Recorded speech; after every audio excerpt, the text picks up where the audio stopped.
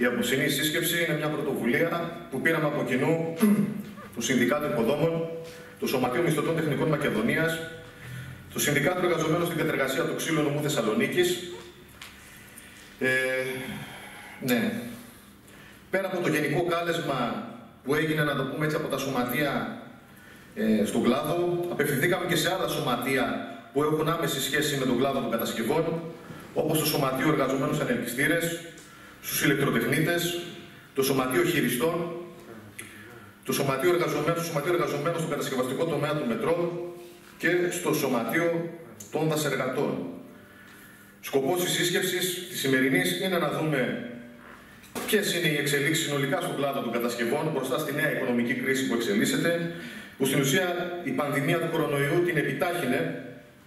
Λοιπόν, και να δούμε τι πρέπει να κάνουν οι εργαζόμενοι, ποια θα πρέπει να είναι η δράση του εργατικού συνδικαλιστικού κινήματος από εδώ και πέρα στον κλάδο των κατασκευών.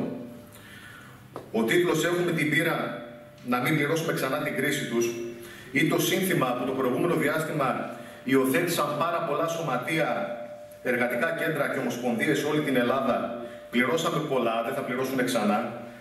Αναδεικνύουν, να μου επιτραπεί η φράση, την ανάγκη να δούμε πώς φτάσαμε σήμερα ως εδώ.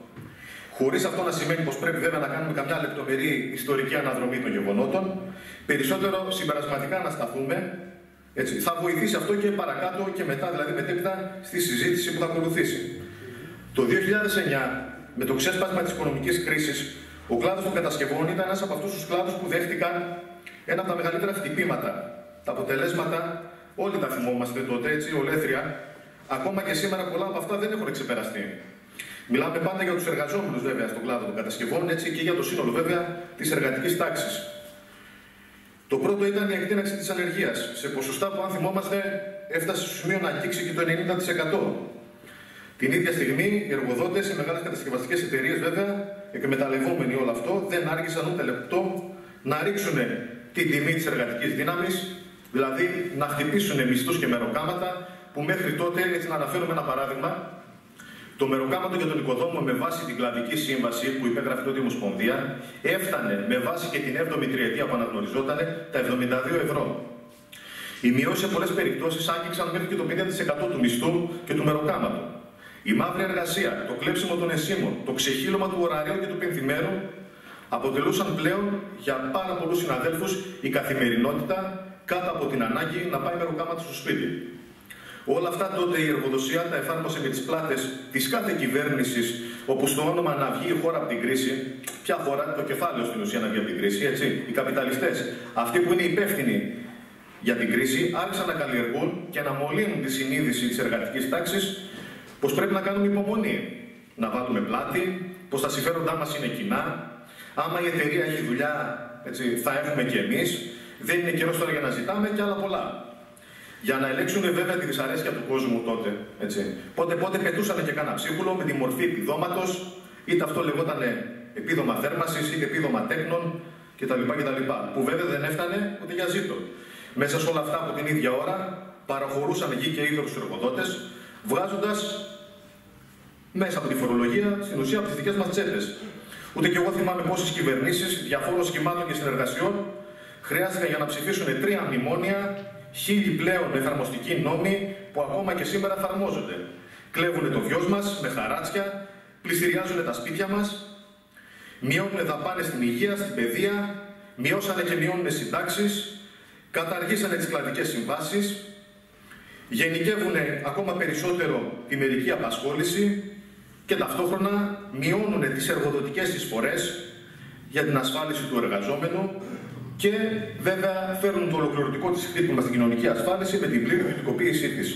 Όλα αυτά τα μέτρα στόχο είχαν και έχουν να εξασφαλίσουν την κερδοφορία του κεφαλαίου, των τραπεζιτών, των βιομηχάνων, των εφοπλιστών, των κατασκευαστικών ομήλων μέσα στην κρίση. Αλλά και τα χρόνια της ανάπτυξης που ευαγγελίζονταν πως ήρθε, μόνο που δεν μας έλεγαν για ποιους ήρθε τότε η ανάπτυξη, συνέχισαν να ισχύουν και μάλιστα ενίσχυσαν κι άλλο το κεφάλαιο με προγράμματα ευρωπαϊκών κονδυλίων και με μέτρα που δεν επέτρεπαν την οικονομική βελτίωση, να το πούμε έτσι, των εργαζομένων. Μπας και καταφέρουμε να πάρουμε μια ανάσα. σα ίσα το αντίθετο συνέβη. Νέοι φόροι που συνεχώς αυξάνονται και αδειάζουν την τσέπη της εργατικής λαϊκής οικογένειας μέχρι και σήμερα. μεροκάματα και μισθοί καθυλωμένοι σε πολύ χαμηλά επίπεδα, με βάση και τις ανάγκες των εργαζόμενων, με βάση τον παραγόμενο πλούτο, ο οποίος συνεχίζει και θα συνεχίσει να μπαίνει στα σεντούκια των μεγάλων εργολάβων και των εταιριών που δραστηριοποιούνται στον κλάδο. Σε όλο αυτό χρειάστηκαν συμμάχους ώστε να τα καταφέρουν, να εφαρμόσουν όλα αυτά που είπαμε παραπάνω, χωρίς να υπάρχουν προβλήματα και καθυστερήσει στο σχεδιασμό τους, χωρίς να υπάρχουν αντιδράσεις από τους εργαζόμενους και από το εργατικό συνδικαλιστικό κίνημα. Δεν δυσκολεύτηκαν να τους βρουν, αφού τους είχαν αυτούς τους συμμάχους. Δεν είναι άλλοι από, αυτό, από αυτήν την ηγετική ομάδα που διατηρεί, να το πούμε έτσι, την πλειοψηφία στη Γενική Συνομοσπονδία Εργατών Ελλάδος, αλλά και στο Εργατικό Κέντρο Θεσσαλονίκης, bon, την ομάδα του Παναγόπουλου, του Κιουτσούκη και του Βασιλόπουλου. Όλα αυτά τα χρόνια παπαγάλιζαν ιδεολογήματα του κοινωνικού εταιρισμού, του κοινωνικού διαλόγου. Ότι πρέπει να έρθουν νέες επενδύσεις, πως οι αγώνες δεν έχουν αποτελέσματα ή η απεργία σαν μορφή αγώνα τα έχει φάει τα ψωμιά της κτλ. Όποια αγωνιστική διάθεση σε χώρους δουλειάς και κλάδους υπήρξε, υπονομεύτηκε από τον εργοδοτικό και κυβερνητικό συνδικαλισμό και στηρίχθηκε μόνο από ταξικές δυνάμεις στο εργατικό συνδικαλιστικό κίνημα που όλα αυτά τα χρόνια δεν σταμάτησαν να βρίσκονται στην πρώτη γραμμή μαζί με πρωτοπόρους εργάτες και εργάτριες για την οργάνωση της πάλης μπροστά στην επίθεση κυβέρνησης και εργοδοσίας στα δικαιώματά μας. Ειδικά στον κλάδο των κατασκευών μπορούμε να πούμε πολλά πάνω σε αυτό, μέσα από τη συζήτηση, βέβαια, χωρίς να θέλουμε να ευλογήσουμε τα γένια μας, αλλά περισσότερο για να βγάλουμε και κάποια συμπεράσματα σε σχέση με το πώς κινείται ο εργοδοτικός και κυβερνητικός συνδικαλισμός, αλλά και ιστορικά παραδείγματα πώς ο κλάδος κατάφερε να έχει κατακτήσεις και το τελευταίο διάστημα. Στην ουσία, τι έκαναν και συνεχίζουν να κάνουν τα ταξικά σωματεία και το πανεργατικό αγωνιστικό μέτωπο, δεν σταμάτησαν ούτε λεπτό να αναδεικνύουν τις αιτίες και τη ρίζα του κακού, που δεν είναι άλλη από το κέρδος Κέρδος που χωρίς εκμετάλλευση της εργατικής δύναμης δεν μπορεί να υπάρχει. Κέρδος που το παράγουμε εμείς οι εργαζόμενοι και μας το κλέβουν οι εργοδότες. Αυτό σημαίνει πως οι εργοδότες και οι εργαζόμενοι, κεφάλαιο και η εργατική τάξη, καλλιτζάντε και οικοδόμος δεν μπορεί να έχουμε κοινά συμφέροντα, συνάδελφοι. Το αντίθετο συμβαίνει. Σε αυτό το σάπιο εκμεταλλευτικό σύστημα που ζούμε, οι μεγαλοεργολάβοι, οι μεγάλες κατασκευαστικές εταιρείες θα παλεύουν για όλο και μεγαλύτερο κέρδος. Και όταν τα νούμερα δεν τους βγαίνουν, δεν διστάζουν να εφαρμόσουν μέτρα και πρακτικές που όχι μόνο θα προσθέτουν νέες δυσκολίες στη ζωή μας, αλλά θα τη βάζουν σε μεγαλύτερο κίνδυνο ακόμα να τη χάσουμε κιόλας. Δυστυχώς για αυτούς είμαστε αναλώσιμοι. Δυστυχώς και σε αυτό επιβεβαιωνόμαστε βλέποντας τη στάση της εργοδοσίας μπροστά στην πανδημία. Αλλά και όταν γίνεται κάποιο εργατικό ατύχημα, διαπιστώνουμε πως δεν εφαρμόζονται μέτρα και κανόνες ασφαλείας. Ακούσαμε και πριν από τους συναδέλφους συνομιλητές και από τον τεχνικό ασφαλείας και από τον συνάδελφο από τον χώρο της υγείας, δεν χρειάζεται να κάνουμε εκτενή αναφορά. Δεν χορηγεί εργοδοσία στους εργαζόμενους μέτρα ατομικής προστασίας με επάρκεια, ώστε να αποφευχθεί το ατύχημα. Την περίοδο της πανδημίας, τα μεγάλα εργοτάξια παρέμεναν ανοιχτά.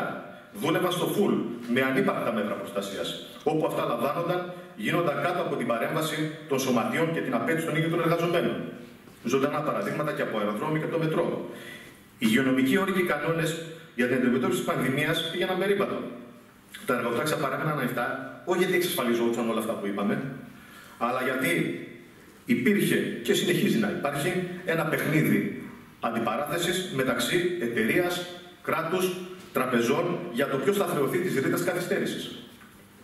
Αυτή την περίοδο στον κλάδο των κατασκευών υπάρχει γενικότερα μια σχετική αύξηση της οικοδομική δραστηριότητας που έχει να κάνει κυρίως με επενδύσεις του τουρισμό, έτσι, βλέπουμε ανακατασκευή παλαιών κτηρίων που γίνονται ξενοδοχεία ή ανακαινήσεις ξενοδοχείων. Υπάρχει μια σχετική αύξηση της συμβατικής υποδομή σε όλη την πόλη, κυρίως στα ανατολικά, να το πούμε έτσι. Περισσότερα εργοτάξια για πια, να το πούμε. Υπάρχουν πολλές μικρές ανακαινήσεις. Διαπιστώνουμε όμως όλη αυτή που βλέπουμε, μας έρχεται η εικόνα η εξής, ότι υπάρχει έλλειψη αυτή την περίοδο, να το πούμε έτσι, σε τεχνικά χέρια στις παραδοσιακές ειδικότητες της υποδομής. Μπετά, σίδερα, σοβάδε κτλ. Και αυτό γιατί πολλοί συνάδελφοι έφυγαν στο εξωτερικό για δουλειά, άλλοι βγήκαν στη σύνταξη, άλλοι λόγω αναδουλειά άλλαξαν επάγγελμα, άλλοι συνάδελφοι μεγαλύτερης ηλικίας απασχολούνται στα 8 μήνα της κοινοφιλής εργασίας κτλ. Όλο αυτό δεν είχε σαν συνέπεια, όπως κάποιοι μας έλεγαν, την αύξηση του μεροκάματου. Το αποτέλεσμα ήταν η εντατικοποίηση της παραγωγής, έτσι, της ανόδου του βαθμού εκμετάλλευσης εργατικής δύναμης με δουλειά τα Σάββατα, τις Κυριακές, με υπερορίες, με 10 ώρα και 12 ώρα, με καθυστέρησης στις πληρωμές, με λειψά ένσημα, χωρίς μέτρα ασφάλειας και υγιεινής, βάζοντας καθημερινά σε κίνδυνο τις ζωές μας. Μπορεί στον κλάδο των κατασκευών, συνάδελφοι, να αρχίσει, να το πούμε έτσι, να εμφανιστούν τα σημάδια της κρίσης όπως τα, τα είχαμε δει το προηγούμενο διάστημα. Ή μπορεί να μην εμφανιστεί ε, ενιαία στον κλάδο των κατασκευών σε όλη την Ελλάδα, να το πούμε έτσι, ανάλογα και με το τι επενδύσεις τρέχουν την περίοδο κτλ. Αυτή. Αυτό όμως δεν είναι κάτι το οποίο πρέπει να μας εφησυχάζει. Η κυβέρνηση συνεχίζει με αμύωτη ένταση να υλοποιεί το πολιτικό της πρόγραμμα χωρίς καθυστερήσεις, ψηφίζει νομοσχέδια που ευνοούν το κεφάλαιο και το κατασκευαστικό με βάση όσα τους είχε τάξει προεκλογικά, αλλά και με βάση αυτά που ανακοίνωσε ο Πρωθυπουργός φέτος από το βήμα της Διεθνής Έκθεσης Θεσσαλονίκης. Τα έργα που ανακοίνωσε η κυβέρνηση συνολικού ύψους 17 δις, όπου η χρηματοδότησή τους βασίζεται στο Ταμείο Ανάκαμψης, δεν θα βγουν από την τσέπη ούτε της κυβέρνησης ούτε από τα παγούλα των εταιριών. Από τις δικέ μας τσέπε θα συνεχίσουν να βγαίνουν, βάζοντας το χέρι όλο και πιο βαθιά με νέους φόρου που έρχονται να προσθεθούν στους ήδη υπάρχουν. Η ανάπλαση του λιμανιού, ε, η flyover, η ανάπλαση της έκθεσης, το γήπεδο της Τούμπας, η ζώνη καινοτομίας και τεχνολογίας, ξενοδοχειακά έργα έργα γύρω από τις ανανεώσιμες πηγές ενέργειας, φωτοβολταϊκά και ανεμογεννήτρε κτλ. Όλα αυτά είναι έργα που δεν γίνονται για να εξυπηρετήσουν τις καθημερινές ανάγκες της λαϊκής οικογένειας. Παρά μόνο το ίδιο το κεφάλαιο που κάθε τόσο επενδύει μέρος των κερδών του σε διάφορους τομείς τη οικονομίας, όπου θα εισπράξει, να το πούμε έτσι, στα ταμεία του ο ίδιος ο επενδυτής κέρδη μεγαλύτερα από αυτά που επένδυσε και κατά την κατασκευή, αλλά κυρίως κατά τη λειτουργία του. Καταλαβαίνουμε όλοι γιατί φτιάχνονται σήμερα πεντάστερα ξενοδοχεία, αντί να γίνονται αντιπλημμυρικά έργα και αντιπυρικά έργα που δυστυχώς κάθε καλοκαίρι και κάθε χειμώνα θρυνούμε ανθρώπους ανθρώπους που πνίγονται ή καίγονται στον ύπνο τους. Γιατί δεν φτιάχνουν πάρκα και χώρους άθλησης, χώρους ψυχαγωγίας, έργα πρασίνου σε κάθε γειτονιά, σχολεία και νοσοκομεία όπως διαπιστώνουν ότι υπάρχουν τεράστιες ανάγκες. Έτσι, λαϊκές ανάγκες, συνάδελφοι, μπαίνουμε σε δεύτερη μοίρα, μην πω και χειρότερα, με βάση όλα τα παραπάνω, να ξεκαθαρίσουμε και κάτι ακόμα. Τα έργα αυτά που έχουν ανακοινώσει θα γίνουν. Θα ξεκινήσουν όμως μόνο όταν θα είναι έτοιμοι. Όταν δηλαδή θα έχουν λάβει μέτρα, πρακτικά αλλά και νομικά που θα τους διασφαλίζει τα κέρδη που έχουν υπολογίσει. Συμπιέζοντας κι άλλο το κόστο παραγωγής, με χαμηλά μεροκάματα και μισθούς, με φτηνά ένσημα και με περαιτέρω μείωση των εργοδοτικών εισφορών. Με αφορμή την πανδημία έχουν πάρει μέτρα ήδη που μπορούν οι εργοδότες στον κλάδο να εφαρμόσουν και ήδη εφαρμόζουν την αναστολή συμβάσεων, την τηλεεργασία, το πρόγραμμα συνεργασία, που στην ουσία τι είναι, ο ίδιος ο εργαζόμενος επιδοτεί τον κουτσουρεμένο του μισθό, δηλαδή τη φτώχεια του. Αυτά όμως δεν τους φτάνουν. Θέλουν να διευρύνουν κι άλλο το ωράριο εργασίας με αύξηση του ορίου της περιοριακής απασχόλησης, χωρίς να πρέπει ντε και καλά να μας τις πληρώνουν, αφού θα μπορούν, λέει, να μας τις δίνουν σε ρεπό ή σε άδειες. Ετοιμάζουν σε λίγες μέρες να φέρουν νέο νόμο που στόχο έχει να περιορίσει τη συνδικαλιστική δράση και στην ουσία να ελέγξει το εργατικό συνδικαλιστικό κίνημα, δηλαδή να βάλει τα σωματεία, στο, τα σωματεία μας στο χέρι. Η κυβέρνηση δεν έχει διαψευστεί μέχρι σήμερα, δεν μας έχει διαψεύσει στο ότι βγήκαμε και καταγγείλαμε οι ταξικές δυνάμεις ότι ο ΣΕΒ με την κυβέρνηση προχωρήσανε σε μια μυστική συνάντηση, να το πούμε έτσι, για να συζητήσουν όλα αυτά τα μέτρα που θέλουν να περάσουν για περιορισμό της συνδικαλιστικής δράσης. Ένα νομοσχέδιο που ετοιμάζουν να φέρουν τις επόμενες μέρες, που αυξάνει το χρόνο, να το πούμε έτσι, που πρέπει ένα σωματείο να ανακοινώσει, να δημοσιοποιήσει μια απεργία. Χάνεται έτσι το πλεονέκτημα του ευνηδιασμού. Απαγορεύει, μάλλον ε, παίρνει πίσω το δικαίωμα τη συνδικαλιστική κάλυψη των ιδρυτικών μελών ενός σωματείου, που ανα πάσα ώρα και στιγμή θα μπορεί ένας εργοδότης να πωλήσει συνδικαλιστικά στελέχη τη δημιουργία του ηλεκτρονικού μητρώου και άλλα πολλά. Να μην τα αναφέρουμε όλα τώρα. Όλα τα παραπάνω στοχεύουν απευθείας στο χτύπημα της οργάνωσης εργατικής τάξης. Θέλουν να ξεπερδέψουν με το ταξικό συνδικαλιστικό κίνημα, βάζοντας στο χέρι τα σωματεία, γιατί φοβούνται τη δύναμη που έχουν. Αν δεν μας φοβόντουσαν συνάδελφοι, δεν θα έπαιρναν όλα αυτά τα μέτρα. Είναι ολοφάνερο πως η επίδυση του κεφαλαίου και της κυβέρνησης το επόμενο διάστημα θα ενταθεί. Δεν έχουμε άλλο δρόμο να τραβήξουμε πέρα από αυτό της σύγκρουσης σύγκρουση που πρέπει να τη σχεδιάσουμε και να την οργανώσουμε μέσα στους χώρους δουλειάς, συσπηρώνοντας τους εργαζόμενους σε σωματεία, αφήνοντας απ' έξω τσιράκια και ρουφιάνου της εργοδοσίας. Μέσα στη σωματεία μπορούμε να καλλιεργήσουμε την αλληλεγγύη και τον αγώνα. Να τα μετατρέψουμε σε χώρους ζωντανούς, συζήτησης και ενημέρωσης, Πάνω απ' όλα, οι εργαζόμενοι μέσα στη σωματεία θα πρέπει να αισθάνονται πως μπορούν να εκφράσουν ελεύθερα την άποψή τους και να την κάνουν απόφαση μέσα από τις συλλογικές διαδικασίες του κινήματος. Θα πρέπει κάθε εργαζόμενος να εμπιστεύεται το σωματείο ακόμα και όταν σε κάποιο χώρο δουλειάς είναι μόνος του. Και εκεί θα πρέπει το σωματείο ανα πάσα ώρα και στιγμή να είναι σε θέση να παρέμβει προς όφελος των εργαζομένων. Τα σωματεία πρέπει μέρα με τη μέρα να δυναμώνουν ακόμα περισσότερο, αγκαλιάζοντας όλο και περισσότερους εργαζόμενους. Έχουμε τη δύναμη να τα καταφέρουμε. Μας φοβούνται. Δεν πρέπει να σταματήσουμε αυτό το καθήκον που κληρονομήσαμε από τις προηγούμενες γενιές. Να βγούμε μπροστά με θάρρος και πίστη, ενιαία στον κλάδο και να διεκδικήσουμε αυτά που μας αξίζουν και τα δικαιούμαστε. Αυτά που με αίμα κατακτήθηκαν και μας τα πήραν πίσω. Είναι ώρα, συναδέλφοι και συνάδελφοι, να διεκδικήσουμε δωρεάν μέσα προστασίας για κάθε εργαζόμενο για τον κορονοϊό. Να γίνονται τεστ στους εργαζόμενους σε τακτικά διαστήματα. Να ενισχυθεί η πρωτοβάθμια φροντίδα υγείας. Να γίνουν προσλήψεις μόνιμου ιατρικού νοσηλευτικού προσωπικού. Να ανοίξουν όλα τα κρεβάτια μεθ. Να ανοίξουν τώρα τα νοσοκομεία Λιμωδών και Παναγίας στην πόλη μας που τα κλείσανε μέσα, στα, μέσα από τα μνημόνια.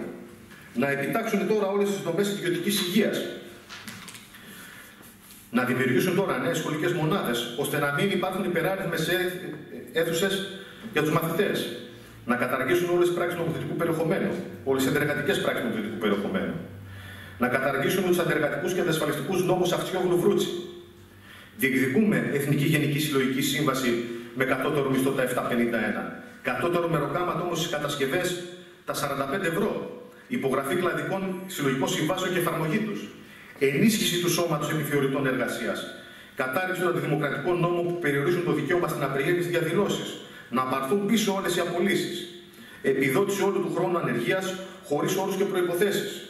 Συναδέλφοι και συνάδελφοι, καλούμε όλα τα σωματεία να πάρουν απόφαση και να συμμετέχουν στη σύσκεψη που διοργανώνεται των σωματείων στις 3 του Νοέμβρη με σκοπό την οργάνωση της πάλης απέναντι στην επίθεση της κυβέρνησης της εργοδοσία.